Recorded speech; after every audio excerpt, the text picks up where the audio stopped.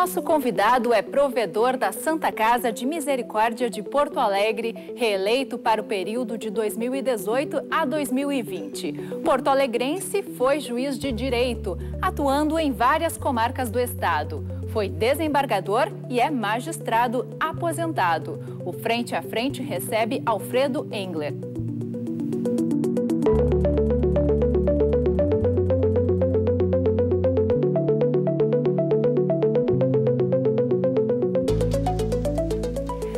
Também participam do programa os jornalistas Leandro Olegário, Cláudio Andrade e Alexandre Costa, do blog Esquina Democrática Jornalismo Independente. Boa noite, Alfredo Engler. Muito obrigada por aceitar o nosso convite.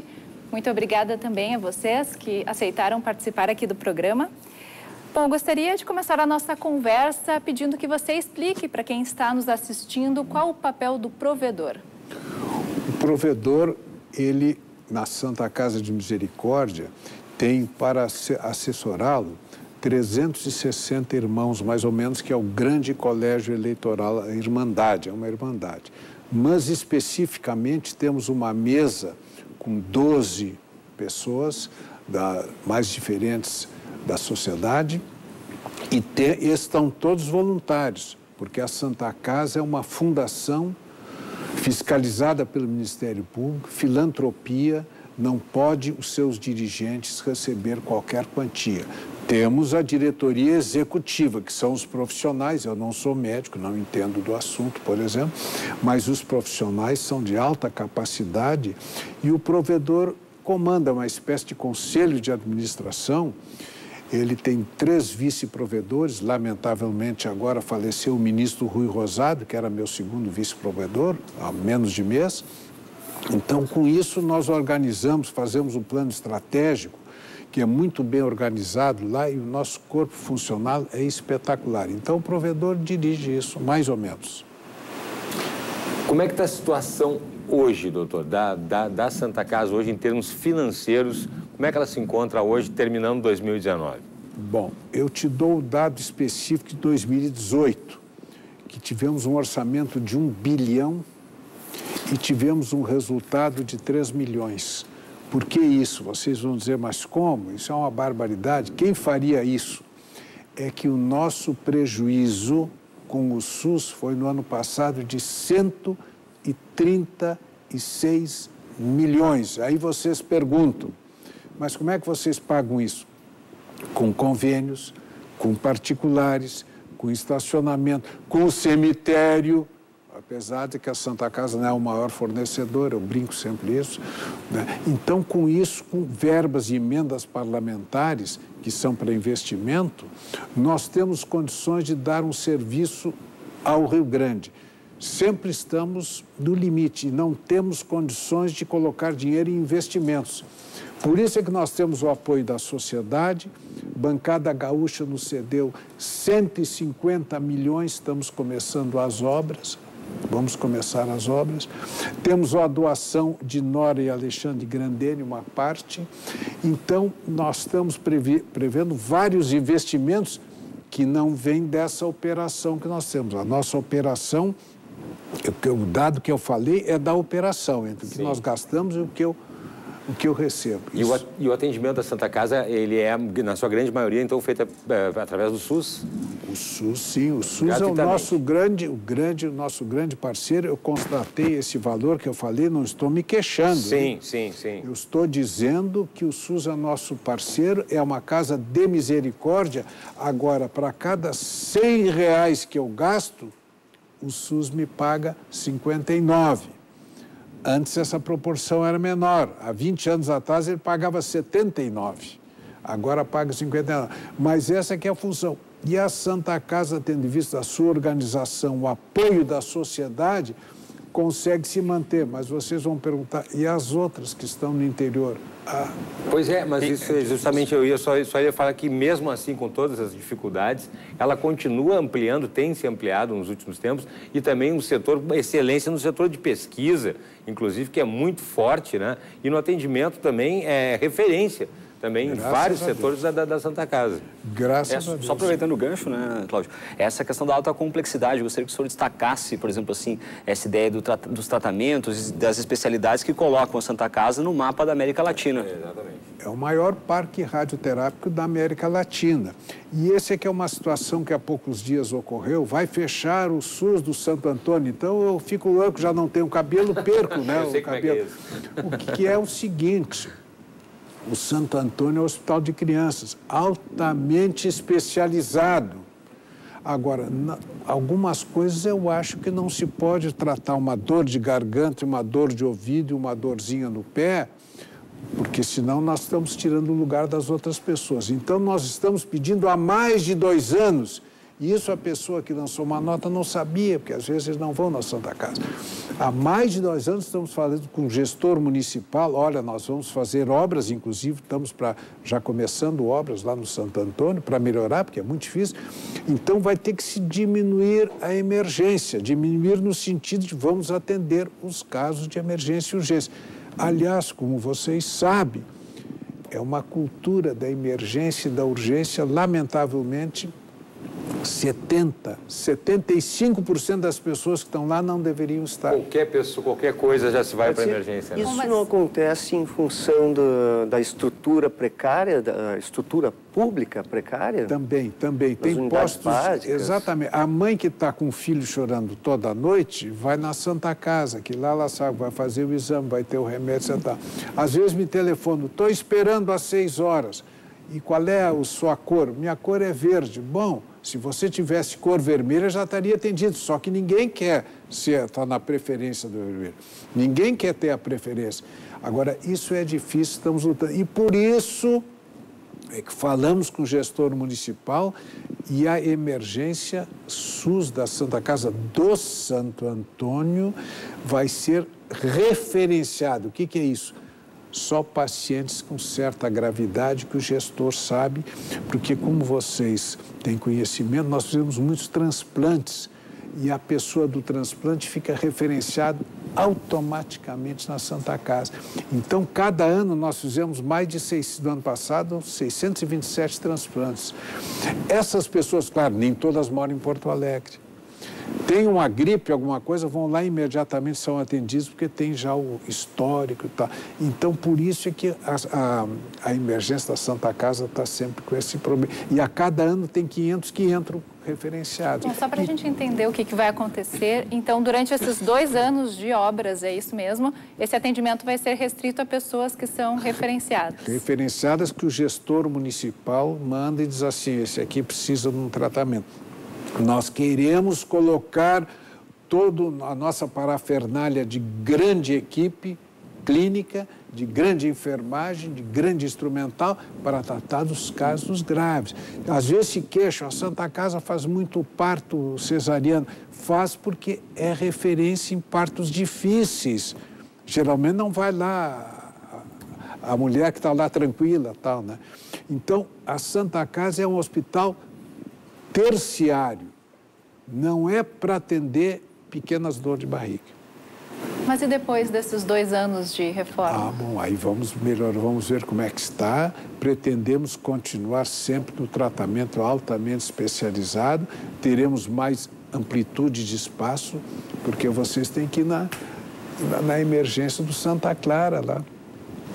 E essa demanda que... Cada vez aumenta, é um desastre. Essa é demanda que vocês vão deixar de atender, por, enfim, por por, pelas obras, né? Como é que vai ser? Quem vai Bom, fazer o atendimento? O, o gestor municipal já está espalhando para outros hospitais e nós fizemos sempre temos o contato com os outros hospitais. Isso tudo é falado há mais de dois anos, por isso que eu estranhei que o cara reclamou. Não falaram que ninguém ainda está mais do que falado. Está exaustivo. E como nós tivemos um, um, grandes verbas, aí nós estamos tentando liberá-las todas. A bancada gaúcha unânime nos apoiou, exatamente porque temos que construir obras novas. A casa tem 200 anos, a igreja vai fazer 200 anos agora e o hospital um pouco mais. Era, Então, e era e interessante que era fora dos limites de Porto Alegre, né? os limites. E a imprensa, no primeiro dia, quando a- foi instalada a Santa Casa, já criticou. Disse, olha, é muito longe. Ninguém vai lá porque é fora Não, a de Porto imprensa eu Alegre. gosto de uma crítica, mas eu gosto de responder também. Ninguém vai na Santa Casa ficar fora de Porto Alegre. O que, que é isso? É né? uma bárbara. Os portões eram ali embaixo da, Sim, na, na Praça, da do. Portão ali tinha Na a Praça, do Portão. né? E hoje está aí. Então, eh, vamos acalmar, quer dizer, nós vamos continuar atendendo. Isso que você disse é o grande problema. As UPAs estão funcionando. Esse é um problema dramático. A maior crise do país é a saúde. Só que você abre o jornal e vê outras crises que não deveriam estar no. O fato do, do, ah, parte da população, por exemplo, ter com enorme dificuldade para pagar planos de saúde, acaba ah, Aumentou muito. aumentando, sobrecarregando Aumentou o SUS, né? Eu, de manhã, eu vejo lá, pergunto, quantos leitos estão para, esperando? Às vezes, 161, 142, de manhã, às 8 horas. Depois, durante o dia, também tem as altas, né, que dão mais ou menos 80, e o resto. Então, é a luta. Às vezes, a turma se queixa, tal, mas é difícil. E tem as famosas ordens judiciais, que é o maior desastre que tem nesse país. E o senhor pode falar bem. Maior, esses dias me mandaram uma ordem lá para fazer uma- um exame, colonoscopia, que é um exame que não é muito complicado. A Santa Casa não está aí para isso, com o instrumental que ela tem, o Santa Rita, altamente, como estava falando há pouco, colé. Então, isso é difícil. Agora, a gente conhece o drama ali das emergências, o drama na frente da Santa Casa. O cara diz assim: eu vim de Dom Pedrito, saí às duas da manhã e não sei que horas eu vou dormir hoje. Então, vem para fazer. Em São Paulo, fizeram hospitais regionais. O primeiro atendimento, depois. Isso aqui é mais difícil. Seria essa a solução para Uma das grandes soluções. São acabar Paulo com a melhor. ambulância terapia? Ambulância terapia. Isso é uma das soluções, porque, por exemplo, em outros estados, o nosso estado está em dificuldades, a gente sabe, né? Então, em São Paulo, por exemplo, eles têm os grandes, o primeiro hospital, o primeiro atendimento e te manda para um hospital. Agora, sempre há divergência. Nós estamos com o Hospital de Santo Antônio da Patrulha também, só gestão. Gravataí é nosso. Mas lá não se faz parto. Por que não se faz parto? Porque não está contratualizado. Já fizemos três ou quatro. A mulher chega lá, é evidente que se faz. Sim, sim. Mas se dá tempo, vai a Osório. Aqui no ano passado, no nosso estacionamento, nasceram três. Uma se deitou no chão e teve a criança lá. É mesmo? Porque chega, e tavam, iam para outro hospital, mas quando viram a porta aberta ali, foram para. Então, isso, que parto não tem horário. Estamos terminando a maternidade, vamos fazer uma cerimônia depois, especificamente. Já está, você entra lá, entra na sala, tem a espera do SUS, a espera do não SUS. Por que, que a do SUS é menor? Aí já a crítica vem, a SUS está mal atendida. Não, não. É porque o SUS você dá o nome e entra. Se é convênio, vão perguntar o nome do teu pai, da tua mãe, do teu avô, o número do convênio, a fotografia, tal. Depois que entra na porta, os consultórios, não sabe, essa aí a senhora está sendo atendida pelo SUS, não sei, essa é convênio. Isso é bacana, Tivo. Nós levamos o ministro da Saúde lá, o anterior, que chorou lá para vir aqui. Então, nós estamos melhorando, estamos fazendo investimento os próximos quatro anos de 450 milhões, não com dinheiro nosso. Emenda parlamentar, 150 milhões. Apoio do Hospital Nora Teixeira, que vai sair 200 milhões, já temos 104 milhões. Vai aos poucos. Ele doou, ele e a Nora doaram como emergência do SUS, que eu convido vocês a ir lá um dia. Tem que ter, não é qualquer um que entra lá, não é qualquer um que entra. Então ele doou para a emergência do SUS, que embaixo vai ser, e depois 15 andares, ou não sei, X andares, convênios particulares, para manter o SUS sustentável. Nós temos que ser sustentáveis. Não hospital que só atende o SUS que se não for orçamentado, que nem os públicos, não resiste. Nós atendemos 73% do SUS. Obrigada. Nesse sentido, doutor Engler, eh, pela sua experiência, essa vivência do dia a dia da emergência e do hospital, a questão da saúde pública no, no país passa não só por uma questão orçamentária, mas por uma questão de gestão, da distribuição específica dos recursos. Quando o senhor traz, por exemplo, o exemplo eh, de, de São Paulo, a questão dos hospitais regionais, ou seja, é a destinação e a aplicação correta desse recurso para ser efetivo para a população. Também gestão, mas não se pode dizer, como falam às vezes, não, o problema hospitalar do SUS é gestão. Não. Tem altos gestores que funcionam. Agora, sem dinheiro, eu quero ver. Como eu digo, se eu gasto 100 reais e tu me pagas 59, é difícil, né, para as tuas contas. Né? Então, o SUS é o grande programa, inclusive em transplantes, praticamente só o SUS que faz transplantes, é raríssimo, né? O SUS, eu acho que é um grande programa, ah, falta alguma gestão, falta mais. Em 30 anos de SUS, 24 ministros da Saúde. Só que vem um mudo. O atual, o senhor Mandetta, não, vamos fazer a educação primária, que você estava falando há pouco. Tem gente que está morrendo de tuberculose. Tuberculose era, não havia mais. Agora, faltam leitos, por exemplo, para o SUS? Como? Na cidade, faltam leitos? Muito. É? Loucura, Sabe quanto que é a, a, a essa... Ah, não tem ideia, mas a Santa Casa tem 1.278 leitos nos três nos hospitais daqui, Santo Antônio, 157 de UTI, que está todo dia faltando De manhã eu vou lá, 161 leitos estão faltando, 142, pô, 142 é barbada. Mas durante o dia a gente dá.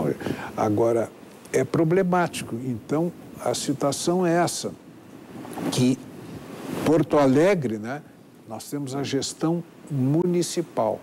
Só entra pelo SUS quem o gestor determinar. Regulado, a gente chama isso regulado, que é a expressão, salvo se for pela emergência. Né?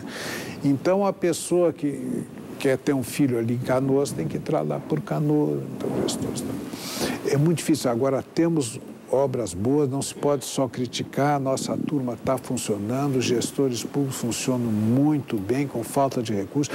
Nós temos a universidade junto, a Universidade Federal de Ciência e Saúde, se não tivesse a Santa Casa seria inviável. Seria inviável uma grande universidade que começou como da Santa Casa, a Santa Casa não conseguiu aguentar e hoje é uma universidade federal premiadíssima premiadíssima. A reitora Lúcia Pelanda, a vice Jennifer, são espetaculares e tal. E tem esses programas, os professores, e para o aluno é uma maravilha, né? Para o aluno e para os residentes. Se não tivesse isso, não era possível. Em algumas entrevistas, o senhor diz que a Santa Casa de Porto Alegre é o órgão público que mais contribui para o SUS.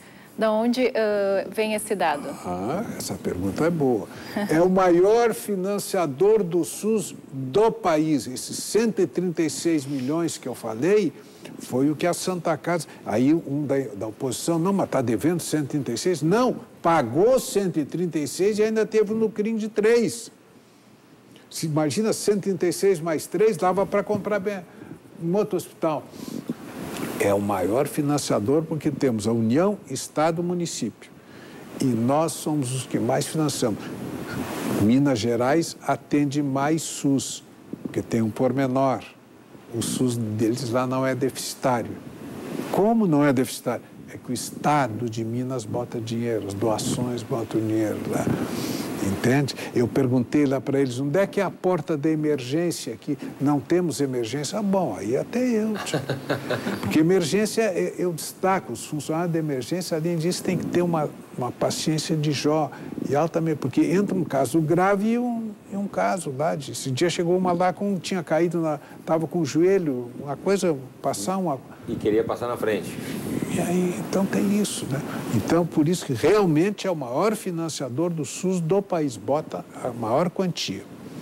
E a questão do espaço físico ali, doutor, como é que vai ficar, né? Porque não tem muito para ir, longe é para ir, né? Tem, por isso, não sei se vocês já viram onde é que está fazendo um grande barulhão lá para esse o, o, Hospital Nora Teixeira, que demos o nome dela, está ali na frente da faculdade, ali está uma barulheira, uma bagunça, é um grande centro, ali vai ter lugar ali vai ter lugar, mas nós somos sempre, apertados com o problema de energia, que é muito grave, o problema que nós, tudo é ar-condicionado, esses instrumentais, então temos que fazer obras sobre isso, tudo lá é, é complicado, mas a obra está indo muito bem. Essa é uma obra que independe de licitação. Ah, pois então. É? A outra nós estamos com o apoio da Caixa Federal, dos bombeiros que nos apoiam, tudo isso, tudo. Então estamos fazendo outra. A primeira licitação ficou deserta. Agora vamos começar no Santo Antônio, dá para ver se. Só para o pessoal entender, por que, que essa não precisa de licitação? E? Por que, que não precisa de licitação? Porque é dinheiro da, da Santa Casa. Da própria Santa da Casa. Da Santa Casa que recebeu que, em doação. Sim, sim, pelas doações Agora, particulares. E qualquer emenda, qualquer emenda tem que ter licitação. Os deputados, aliás, nós vamos todos os anos, o doutor Júlio Matos, que é a maior autoridade em saúde pública do país, que é meu diretor-geral, além dos outros diretores, a gente vai para cada deputado. O senhor deu 150 mil. Com isso, nós compramos em licitação tantos leitos, aquele para as crianças, aquele leito com calor, não sei como é que chama aquilo. Um deputado esses dias assim, nunca alguém me apresentou isso. Não, nós apresentamos. Isso eu aprendi com meu pai, o centavo tem que fechar. Que eu pedia dinheiro para o meu pai para o cinema e ficava de prestar contas, ele e me esquecia. Não, meu filho, até o centavo. Então, nós prestamos essas contas. Os investimentos, se não fosse o apoio da sociedade, da bancada gaúcha unânime, unânime, diga-se de passagem, é o último caso que se tem de unanimidade nacional. Por isso é que eu disse isso, que nós somos o maior financiador, entre aspas, né, que pagamos para. Então, muita gente, não, mas você. Tem um, esses dias um, um, essa ordem judicial, para voltar a esse assunto, tem um, uma injeção, acho que é injeção para câncer, que o SUS não paga. Então eles entram em juízo, às vezes até tem que ir em juízo. Até o, o gestor não pode pagar uma coisa que não está autorizado por lei. Aí manda a injeção. Só que tem que, a infusão, acho que eles chamam, tem que ir lá, tem enfermeiro para fazer isso, tem água, tem luz, tudo. Aí se oficia para o juiz. Olha, precisamos da despesa. Mas como? Por que, que o, o Clínicas e o Conceição não cobram isso aqui? É porque eles são públicos, meu caro magistrado. Então, eles são orçamentados, não interessa. Então, nós somos não orçamentados. Ah, então a Santa Casa não um hospital público. Não! A Santa Casa presta serviços ao SUS, é a grande função dela, mas não é um hospital público. Aliás, a grande experiência, vocês que são jornalistas e pesquisam e tal, entre parceria público-privada é a nossa universidade, que é pública, federal, e a Santa Casa, que é privada. É a parceria público-privada 100% que deu certo. Pois é, como se dá essa relação entre universidade e a Santa Casa? A Santa Casa, então, eles nos fornecem os professores, eles usam as nossas salas todas, tem um movimento espetacular, os alunos assistem, tem os residentes que também eles comandam. Né? Então, é a universidade junta, nós, estamos, nós temos pessoas que assistem às sessões da universidade, a reitora e a vice-reitora assistem às nossas sessões para verem a situação, que nós mostramos A mais B, cada mês o que, que entrou, o que, que saiu. Nós temos um serviço, a computação de manhã, nos, já, se, já sei quanto se faturou ontem, quantos leitos estão ocupados. Então, tem uma modernidade muito bacana, tem, nós estamos fazendo um, pesquisas também exatamente com inovação. Essa questão das pesquisas é inovação, muito interessante. Já estamos fazendo, nós temos aqui o robô Laura, que não é robô, é um programa de computador, foi feito por um camarada que perdeu a filha com 12 dias numa UTI de criança. Ficou quatro anos, o Banco Mundial financiou tal. Então ele coloca o programa e a gente vai para o laboratório o sangue e a urina de alguém, em X segundos, antes do médico olhar, ele já está dizendo: esse aqui tem tendências a uma infecção, cuidado com esse camarada. Então, de 12 horas que os médicos saberiam dessa infecção, eles pretendem baixar para 3 horas. Aí dão um remédio, porque tem um tipo de infecção que depois da infecção Olha só, isso desenvolvido na, na Santa não, Casa. Não, isso veio para cá, um programa já tem. Já tem? O rapaz, o rapaz veio aqui, eu não sei onde é que ele é, ele já fez em Curitiba, etc. Então nós estamos inovando, estamos aqui com a TecTools fazendo também startups, tudo. Tem um grupo lá estudando, pesquisando, problema de horas extras, problema de plantão. Assim, geralmente falta um, olha, deu um problema, então automaticamente tu vai saber quem chamar, etc. Então nós estamos inovando também. Tem um centro de realístico lá, onde tem bonecos, mais uma Universidade Santa Casa. Nós fornecemos o local, preparamos o local e eles entraram com os bonecos. O boneco aqui é um espetáculo, sente dor, então o médico fica ali, os alunos ficam sentados e dizem, olha, isso aqui é parada cardíaca, você faça o que, que tem que fazer. E, e tem scores, tudo, e o, o aluno fica louco para ver se acerta. Tem operações, eles operam lá, ó, oh, você operou errado, tia. Então, inclusive médicos, antes da operação, pode testar lá. Nós temos, então isso é um com a universidade. Santa Casa recebe alguma coisa do MEC? Alguma verba do MEC? Não, a gente recebe via... Ministério da Saúde. Ministério da, via Ministério da Saúde e gestor. Sim. O gestor municipal que só repassa, né? Sim nos repassa o MEC quem paga para a universidade esses residentes alguma coisa mais via universidade. Né? Então tem esse apoio. Aqui outros hospitais são orçamentados pelo MEC, aí é diferente. Né?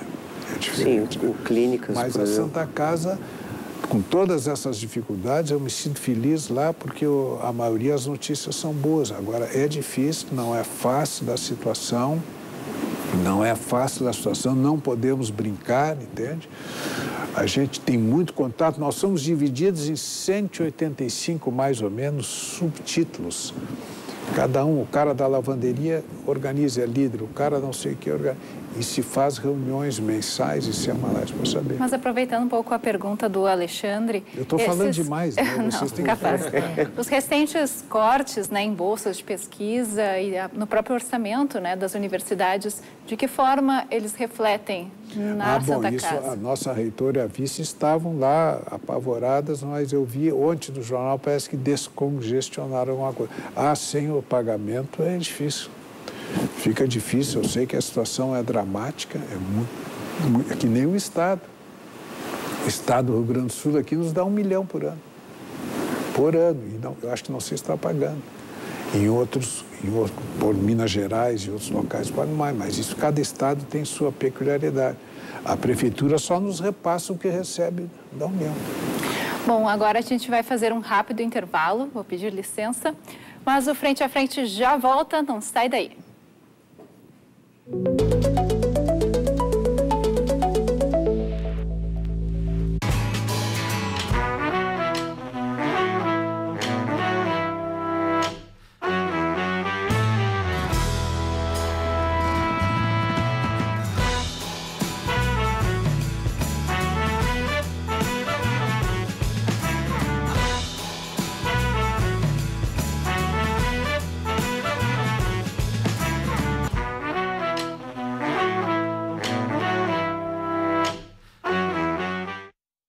Major, what can you tell us about the Lima project?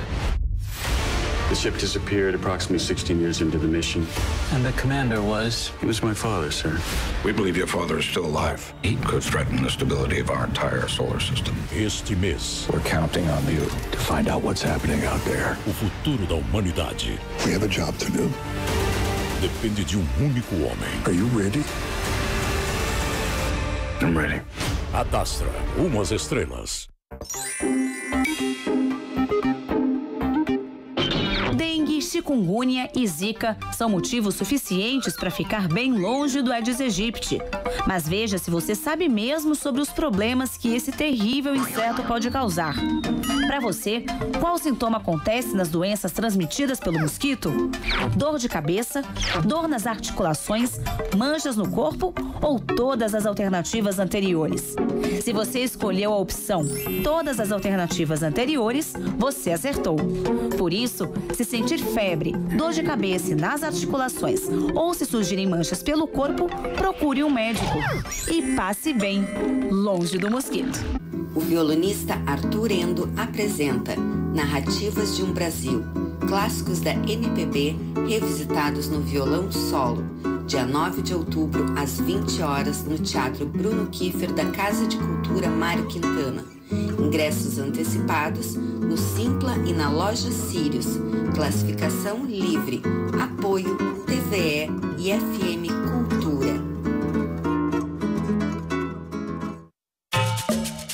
Todas as noites de segunda a sexta-feiras, Consumidor em Pauta está no ar na TVE para responder perguntas sobre direito do consumidor. Maior número de reclamações PROCONs continuam sendo os cartões de crédito. Direito do trabalho. Se a empresa despedisse sem justa causa, teria que dar o aviso prévio de 30 dias. Direito de família. devedor de alimentos é um dos poucos casos que por dívida pode ser preso. E direito previdenciário. Pode pagar esses atrasados, desde que consiga provar para a Previdência que teve uma atividade remunerada naquele período período. Você é nosso convidado. Nós estaremos aqui exatamente para defender os seus direitos. For my whole life, I didn't know if I even really existed, but I do.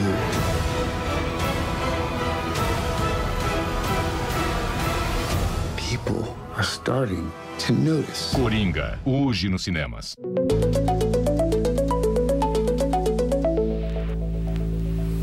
Estamos de volta. O Frente a Frente de hoje fala com Alfredo Engler, atual provedor da Santa Casa de Porto Alegre. Bom, o senhor fez uma carreira inteira, não é, uh, vinculada à área do direito. Em que momento você começou a se envolver com a saúde e com a Santa Casa de Porto Alegre? É que o meu primeiro professor, o doutor Sanseverino, que foi o provedor a quem eu segui, substituí, ele me disse, no dia que tu te aposentares, tu vem para cá. E ele foi que me deu o primeiro emprego há muito tempo atrás, nem vou dizer o ano, né? E quando eu me aposentei, eu fiquei de seis anos como vice-provedor dele e agora estou há quatro anos e meio seguindo a trilha dele com a orientação dele, o que me faz muito bem, porque a gente tem notícias boas também lá na Santa Casa que funciona, que está indo com dificuldades, então chega de notícia ruim. Deixa eu aproveitar o gancho claro. de você. É, com relação então, ao segundo mandato, né? o que, que o primeiro mandato traz de experiência que fica para o segundo agora, olhando né, com, com, no, com, novos olhos, assim, digamos? É que quando do, cada um tem a sua maneira de comandar, né? Então, eu coloquei o Dr. Júlio Matos como diretor-geral, e no primeiro mandato estava difícil, a situação estava difícil, todo, por vários motivos, né? Por vários motivos. Então, o primeiro mandato, eu já tinha ficado seis anos como vice-provedor, então eu já tinha mais ou menos, sabia o caminho das pedras. Mas com algumas mudanças que nós fizemos, de pessoas, inclusive poucas, né? Fizemos isso, tivemos que logo no início reduzir leitos do SUS quase me esguelaram, quase me guilhotinaram os médicos em Praça Pública, é que eu, eu digo, assim como nós estamos indo, não é possível. Que o SUS, cada vez que a gente trabalha mais, o prejuízo é maior. No ano passado foi 136 milhões, este ano vai ser maior, porque nós estamos atendendo melhor, tá? mas é isso. E aí, já no segundo mandato, você já tem um conhecimento melhor das coisas, ficam mais fáceis ver. E depois tivemos também a doação do Hospital de Gravataí. Isso para nós foi importante. E é a primeira vez que saímos dos muros e fomos fazer a gestão do Hospital de Santo Antônio da Patrulha, que é um hospital público. O prefeito Dyson, atualmente assinamos com ele, ele nos auxilia lá, mas é só a gestão. Já estamos indo bem lá tudo com dificuldade, porque, como vocês sabem, os prefeitos estão com dificuldades maiores ainda. Antigamente era a União que pagava mais o SUS, e a União está saindo, tá saindo devagarinho por outra uma porta e deixa tudo com os coitados dos prefeitos. Então, a luta é muito grande. Então, com essa instalação em Gravataí, onde também tentamos, estamos com planos de melhorar e precisamos do apoio da sociedade lá para investimento. Tivemos lá esses dias, inclusive. Foi a minha primeira comarca, o foro era na frente do, do D. João Becker, né? então eu conheço o hospital, que também é um hospital de ponta, que atende ali a freeway, ali a situação é dramática também. Eu fui no, na emergência deles, está muito mal instalado. Já estamos com alguns planos rápidos, assim, de curto prazo, né? Mas então, respondendo especificamente a tua pergunta, dá uma experiência, eu que não era da área, dou uma, uma experiência muito boa e tendo uma equipe espetacular, que eu tenho lá, a gente vai de leve. Vai de leve. Só não me fale em estacionamento, que pelo menos estacionamento eu tenho pavor disso. Pois é, o senhor, o senhor tem onde botar o seu carro? O senhor não vai de carro? Eu não vou de carro, eu vou de, carro. lotação. Então, Melhor coisa que tem. Então deixa eles que Então deixa eles que discutir essa... A gente falava dos números, né, que impressionam ali, os números, da- a gente brincava ali sobre, até eu queria falar sobre essa questão das parcerias público-privadas, a questão da lavanderia, por exemplo, ali, né, que o senhor brincava no intervalo ali, para quem acertasse o que é de roupa lavada numa, numa, numa Santa Casa, eu fiquei impressionado. Média de 13 toneladas e meio por dia. E a roupa não é lavada que nem a gente lava em casa. Ah, né? sim, sim. Tudo é... E depois como é que E as refeições, e refeições também são todas feitas Refeições, não sei qual é o número, mas é impressionante o número de refeições, inclusive para os funcionários, Né, que a gente, os funcionários lá. E quantas pessoas passam por dia na Santa Casa? De 22 mil a 25 mil no quarteirão. Como o Legar falava, é mais do que muita cidade do interior do estado, né? Se a gente coloca na ponta do lápis, nos 496 municípios, é... E nós atendemos no ano passado, acho que 488 municípios, só alguns municípios que não vieram. Então, ali, você querendo estudar geografia, vai lá para ver, eu vejo as placas das ambulâncias, e muita gente de Santa Catarina que nos ajuda também.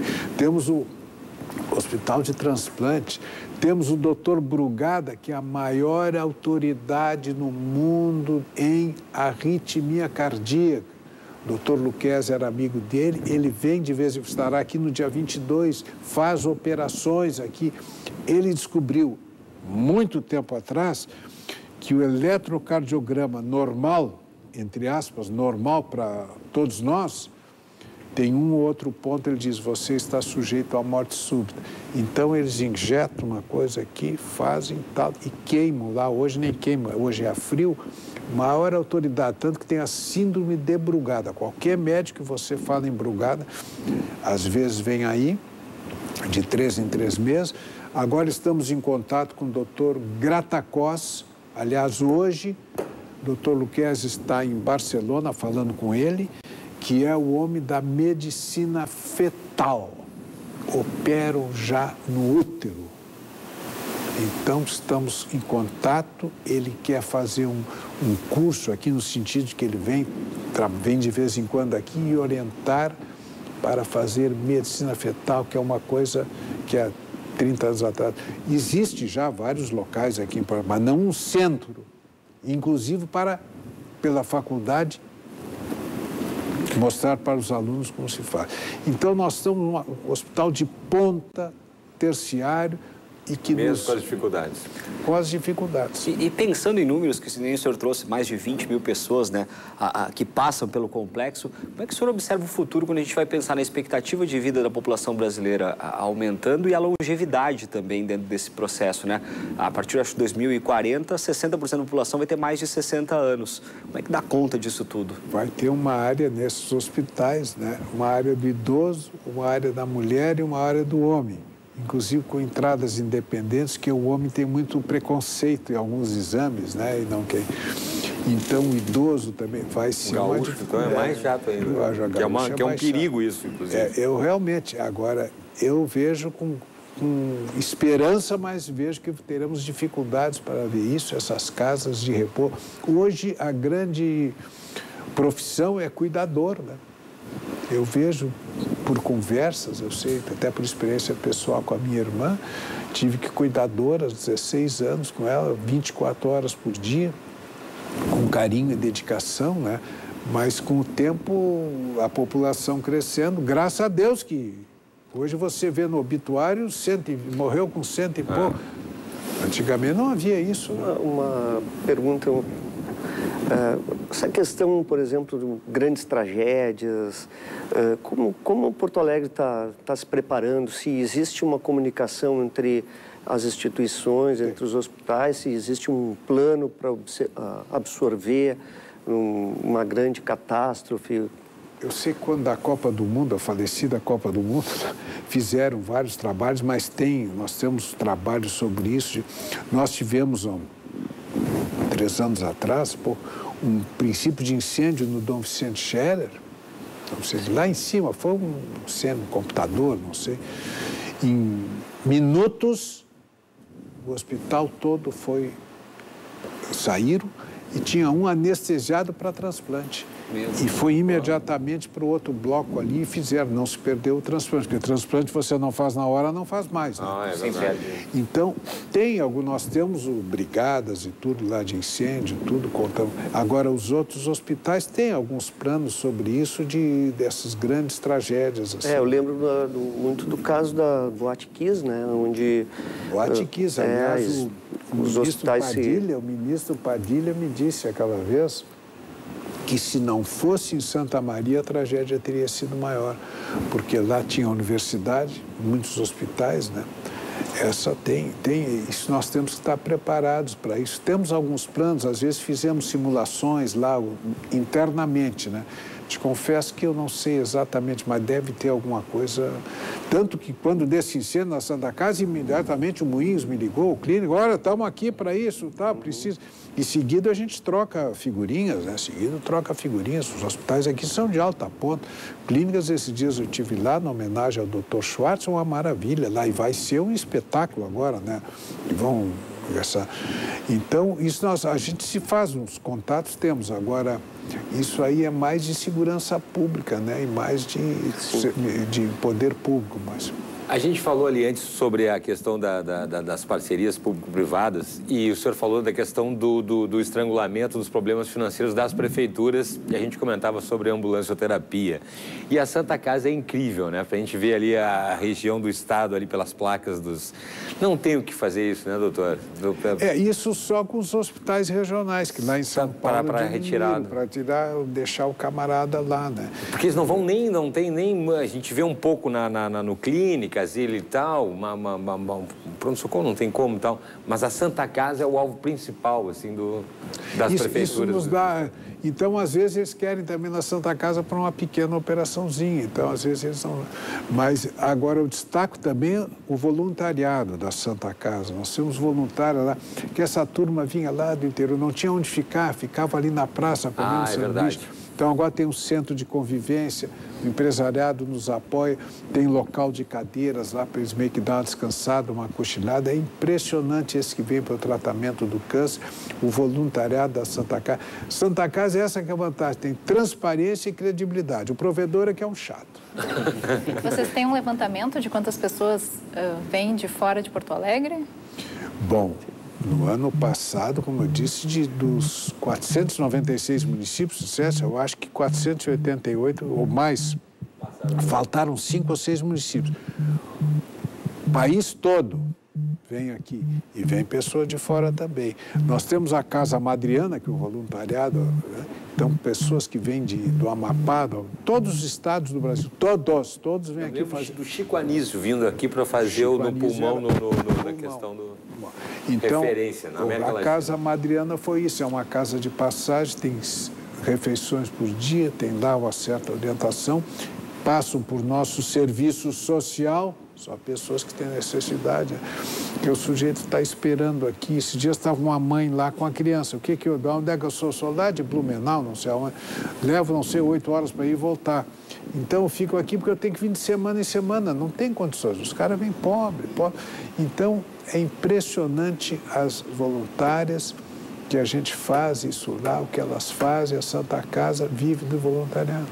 E esse volume de atendimentos eh, faz sentido, tangencia, tem relação com a questão da violência, os números de violência, se a gente for pensar de homicídio, se a gente for pensar nos acidentes de trânsito, se a gente for colocar também no pacote a questão do saneamento básico, embora os índices do Rio Grande do Sul sejam eh, maiores do que a média nacional, mas de qualquer maneira, isso tudo impacta na saúde pública, né?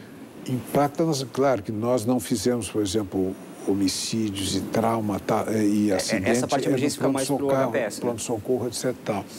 Mas exatamente os nossos pacientes, às vezes, vêm de, do interior do estado, regulados aqui, já chegam subnutridos com esse problema que você fala saneamento. Por isso é que é um hospital que é complicado de administrar, porque, regra geral, o paciente não chega com boa saúde lá. Então, isso tudo originário, saneamento, essas coisas terríveis que a gente vê aqui nas vidas. Esse dia estava o Dom James Spengler me falando, tem uma obra social muito grande aí no quarto distrito, não sei. Foi lá e os caras, as voluntárias levaram a comida lá, foi Diz que foi que ele chorava. É muito difícil, tem pessoas muito pobres, mas a Santa Casa, às vezes, a gente faz uma visita eu visito lá. Então, às vezes, não, eu quero quarto particular. Todos nós queremos um quarto privado, né? Estacionamento. E estacionamento. estacionamento. Primeiro estacionamento. Primeiro estacionamento, depois o quarto. E aí eu cheguei lá, estava um recém-transplantado do rim e um que já estava há mais dias. Um aqui conversando com a esposa, etc e tal, já comendo feijão até, tipo, comendo feijão só. E o outro, e daí o senhor, eu vim de Cuiabá, Cheguei sozinho aqui no aeroporto às nove da noite, às onze eu estava na mesa de operação, não na mesa de feijão. E então estava vibrando porque tinha um companheiro para conversar, porque não tinha ninguém que o visitasse. Ninguém que o visitasse. Então, às vezes, é bom Até ficar isso. no quarto. Né? E as voluntárias fazem essa visita. Nós temos atendimento religioso lá também, entende? No sentido de um carinho, às vezes, é melhor que uma injeção na poupança. Diz uma coisa, o, a questão do, dos investimentos, né? O Brasil investe mal na saúde, então. Muito mal. Investe mal porque não investe na saúde, nas unidades básicas, nessa, nessa atenção primária. A UPA, que seria a solução. Eu, quando entrei, o primeiro dia que eu entro lá na Santa Casa, tinha uma pessoa importante, as UPAs vão resolver. A emergência vai ficar livre a UPA não funciona porque os prefeitos não conseguem manter. Só para dar um dado aqui, por que, que nós não temos partos em Santo Antônio da Patrulha? Não está contratualizado. Chega da mulher, a gente atende, isso é outro assunto. Aí depois o SUS não quer pagar. Bom, isso é outro assunto. Só que um plantão precisa ter sobreaviso, tanto os médicos, anestesia. 150 mil por mês para fazer 10 partos então, por isso é que tem que não dar todos os hospitais fazer ah, toda a, mesma coisa. Ter essa estrutura. Isso é que nós estamos falando. Tem que ter hora. Parto é na... Claro, às vezes não chega lá na hora do sim, parto. Sim, sim, sim. Por que, que todos os hospitais têm que ter isso isso?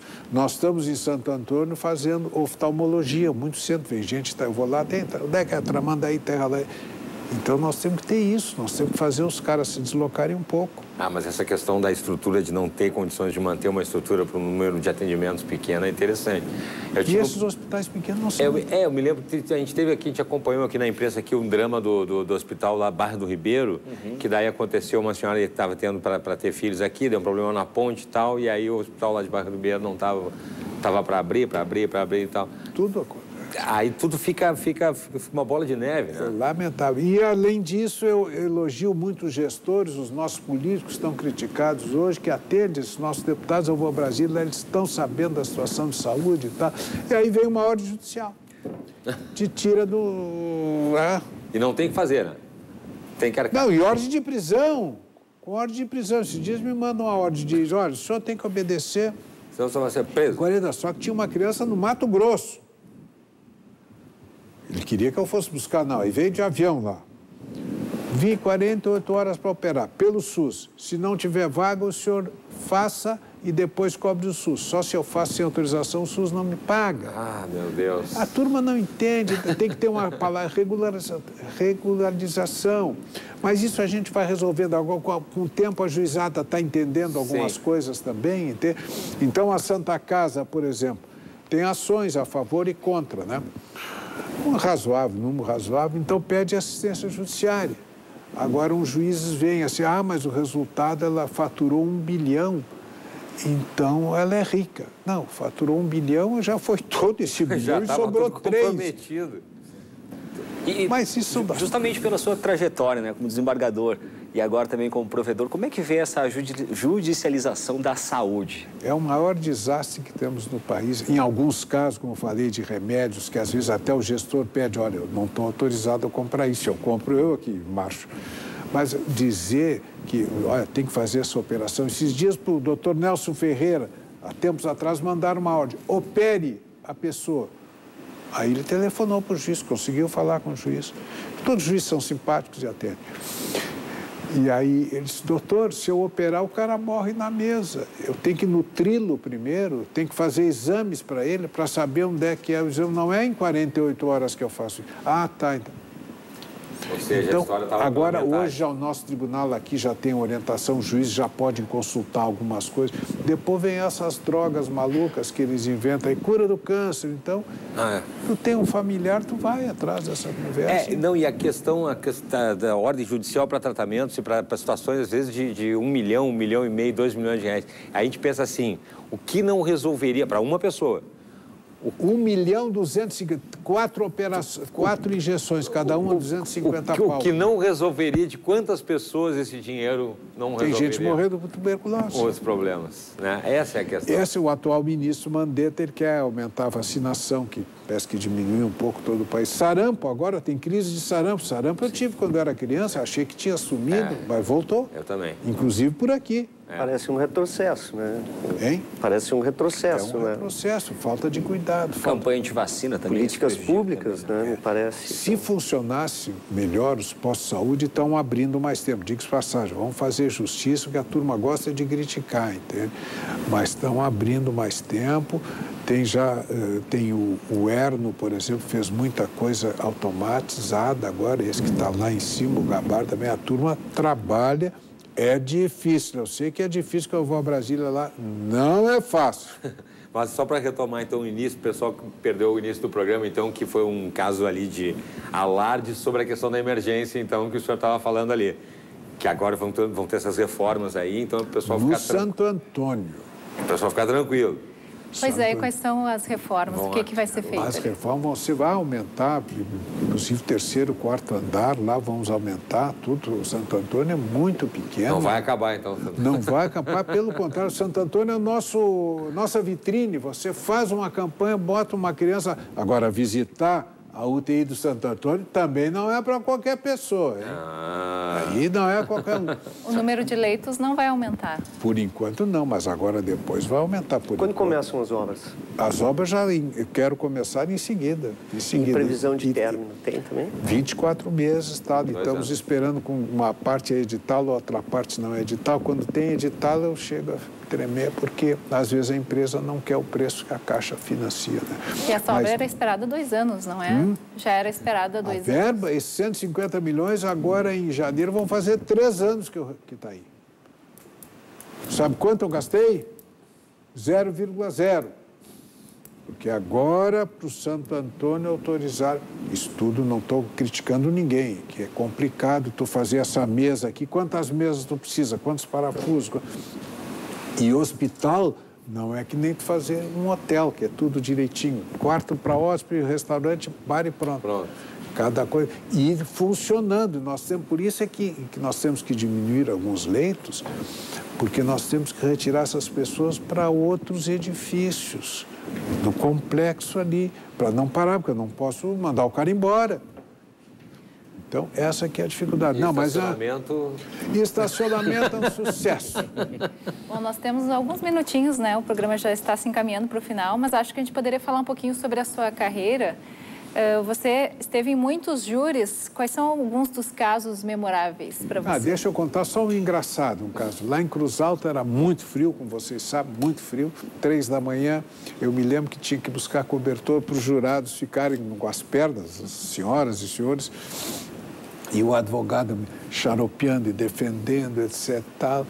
E, e, a tinha sido a, a traição. A bala tinha entrado nas costas, né? Ao menos o laudo dizia. E o advogado dizia, não, senhores, o tiro foi frente a frente e tal. Mas, aí eu falei, mas como frente a frente? O doutor pegou, um, era no, no interior, na colônia, pegou um vento forte, a bala desviou. Eu tinha que ouvir isso. que Aí a bala foi, para trás, mas foi de frente, mas aquela com vento forte ela Então, foi o para júri, trás. o júri que eu era na época da faculdade contra, eu aprendi o júri é um grande júri, sabe? O júri, não sei como é lá no norte, mas tendo condições de escolher jurados razoáveis, bons, o júri, uma ou duas vezes, eu discordei do júri, como juiz eu condenaria. Mas depois a vítima também fazia horrores, né? E os caras coisa que o juiz não pode fazer. né? Mas o júri me deu grandes lições, entende? Não sei se eu posso contar outra ainda. Tem Claro, tempo? pode. Outra que muito. Isso não foi comigo, me impressionou. Era um irmão tinha matado o outro irmão. E a mãe presente no júri. E o promotor pediu legítima defesa. Olha, o cara avançou. né? E a defesa, não, nego a autoria, não estava presente lá. Estava presente tudo, né? Negaram a autoria. O promotor pedindo absolvição. Aí depois terminou o júri, o cara foi absolvido. Por que que vocês, pô, eu pedisse, o cara estava em legítima defesa, tio. Não, a mãe do cara estava presente. Imagina, não, meu, meu filho matou o outro. Não, não, não foi ele. Meu filho foi morto por outra pessoa que não sabe quem é. Isso é uma lição que só o júri pode falar. Porque a mãe estava presente. A mãe estava Aí, para não constranger a mãe. Não constranger a mãe. E o resultado seria o mesmo, porque em legítima defesa ou negativo de autoria, o cara é absolvido. Sim, né? sim, Só esse- não, eu não fiz Mas nada. em respeito à mãe. É, então tem grandes lições, né? Tem grandes lições. Grandes lições, mas Bom, então, para encerrar, quais são os planos agora da Santa Casa? O que, que vocês estão planejando? o plano da Santa Casa é cada vez se modernizar mais, inovar mais. É um hospital terciário, com essa turma que vem o Brugada, o Cratacós, tudo. Temos o apoio, temos um médico de Chicago, doutor Leperina, eu acho que é o nome dele, que faz operações de vez em quando que ninguém faz. De vez em quando ele vem aqui. né? Então, nós queremos sempre inovar, mas cuidando do povo, da população e sempre com o apoio do Rio Grande e a transparência. A Santa Casa é unanimidade no Rio Grande. E os seus planos? Meus planos é, com enquanto me deixarem viver aqui, já olhar e tal, e cuidar um pouco, ver. Que é bom lá, porque aí eu não fico em casa só incomodando, né? E aí eu fico trabalhando. E vem dando- Meus- dá entrevista Meus planos pessoais eu gosto, enquanto isso agito bastante, faz bem para mim essa agitação. Ok, então. Muito obrigada por participar aqui do programa Frente a Frente, Alfredo Engler. Agradeço também aos nossos convidados. E nós ficamos por aqui. Uma boa noite para você e até o próximo Frente a Frente. Tchau!